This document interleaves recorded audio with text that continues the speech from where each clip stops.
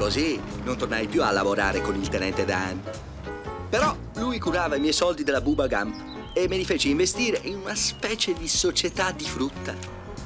Poi mi telefonò dicendo che non avevamo più il problema dei soldi e io dissi: Meno male, una cosa in meno.